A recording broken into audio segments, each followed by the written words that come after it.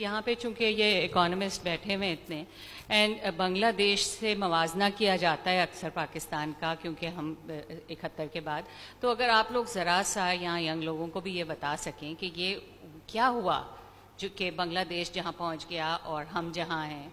तो हाँ तो दिस इज़ माई बांग्लादेश से हम लोग इतने पीछे क्यों रह गए हैं? बांग्लादेश आ, ये आईएमएफ के साथ जो हमने मुआदा किया है उसमें उसका अंजाम, ये कभी किसी ने डिस्कस नहीं किया।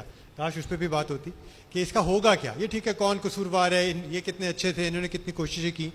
उसका एक अंजाम ही होगा कई अंजामों में से। अंजाम अंजामे कहते हैं, अंजामों कहते हैं। एक अंजाम उसका ये होगा कि हमारी जो मीशत है जीडीपी है that is going to shrink वो सुकड़ जाएगी, बहुत सुकड़ जाएगी।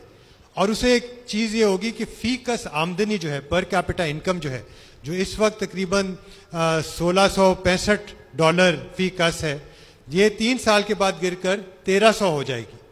बांग्लादेश की 1500 डॉलर हो जाएगी तो बांग्लादेश पर कैपिटा इनकम भी बढ़ जाएगा। और आपने पूछा ऐसा क्यों हुआ है? इसकी तीन बुनियादी वजूहत है। एक तो उन्होंने फौज की छुट्टी कर दी। बहुत बहुत बुनियादी वजह। इस, इसमें इसमें कोई शक नहीं। आप आप जितना आप आप आप, आप उनकी मीशत को समझें ये जो हम एक लफ्ज़ इस्तेमाल करते हैं पॉलिटिकल इकोनॉमी उसमें यही होता है कि कौन से इदारे हैं कौन से इंस्टीट्यूशन हैं कौन अफराद हैं ज़मींदार हैं फ़ौजी हैं बाहर से आए हुए हैं डोनर्स हैं सबका एक रिश्ता बनता है। बांग्लादेश ने यह किया उन्होंने फ़ौज को बिल्कुल अलग कर दिया है और वहाँ फ़ौज अब वो नहीं कर सकती जो हमारे यहाँ अभी तक कर रही है और करती रहेगी। दूसरी चीज़ उन्होंने ये किया, उन्होंने अपने कॉन्स्टिट्यूशन में एक और लफ्ज शामिल कर लिया, जिसका नाम है सेक्युलर तीसरी चीज़ जो उन्होंने की, तीसरी चीज़ जो शायद, हम शायद फौज को नहीं निकाल सकते कोशिश तो कर रहे हैं, पता नहीं सत्तर साल से अभी तक नहीं निकाल पाए। सेक्युलरिज्म का नाम ही लेना कुछ और यहाँ पे इसका, उसका अंजाम कुछ और ही होता है। एक चीज़ जो हम कर सकते हैं, जो बांग्लादेश ने की, उन्होंने औरतों को पढ़ाया, बस। हम अगर और कुछ ना करें, पाकिस्तान में अगर और कुछ ना करें और औरतों को तालीम दें, पढ़ाएँ, सिखाएँ तो ये मुल्क को ऐसी जगह ले जाएँगे कि आईएमएफ कभी नहीं ले जा सकता।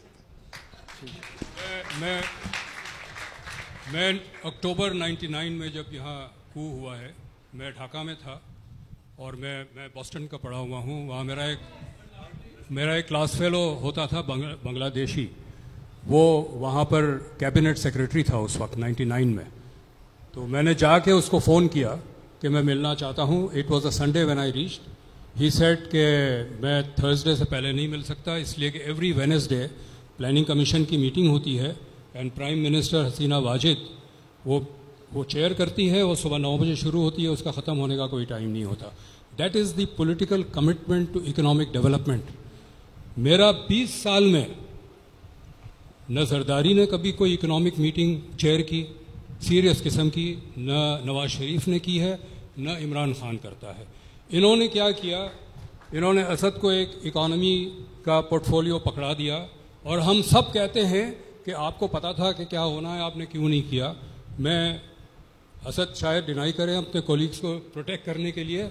Asad did not have the political support of the entire government he had too many people pulling it the rug from under him सबसे पहली मिस्टेक ये की कि जो मुशर्रफ के ज़माने के मीर जाफ़र थे, उनमें से दो को एडवाइज़र अपॉइंट कर दिया।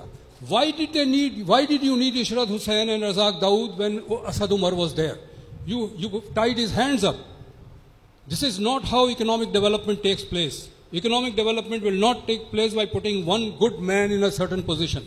The entire political system has to be committed, and for 25, 30 years, our political system has not been committed to economic development. Okay.